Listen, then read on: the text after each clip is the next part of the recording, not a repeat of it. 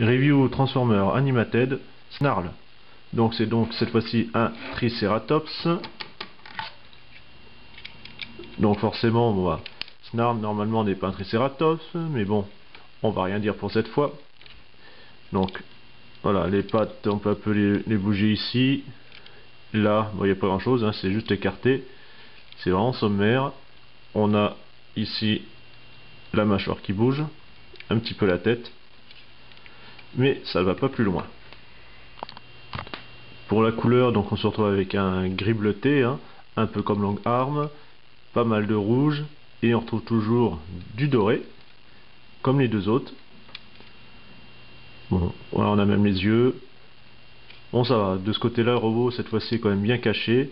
Bon, effectivement, on peut apercevoir la tête.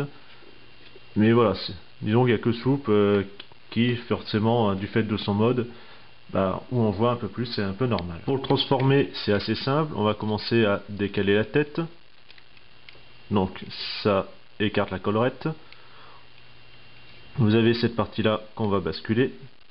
Ici, en fait, on va pouvoir écarter en grand écart, tout simplement. On rabat ainsi. Et on peut même un petit peu étirer de ce côté-là pour, pour les bras. Ça, on fait pivoter. Vous avez ici système de bascule qui va servir tout simplement bah, de talon. Hein. Bon, ça fait un peu tort maintenant. Ensuite, vous avez cette partie rouge là qui va se décaler. Donc, il y a juste à tirer un peu dessus.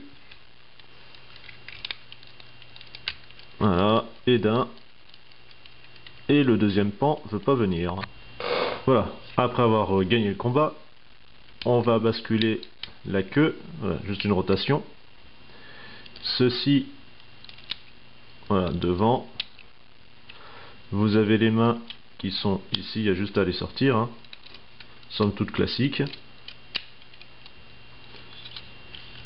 Vous avez, là ça va basculer, ça c'est pour les jambes, donc on les remet dans le bol alignement.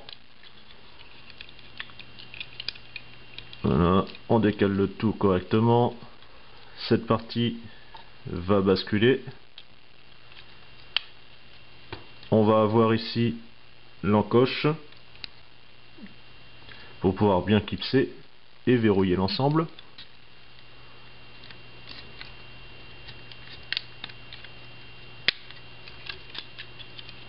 Voilà, on a bientôt fini. On bascule la tête.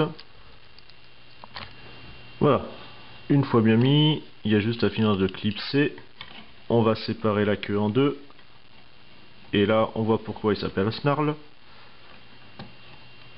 Alors, on va pouvoir, il y a un petit gimmick. Ici, vous avez des boutons. On appuie, ça fait sortir des flammes.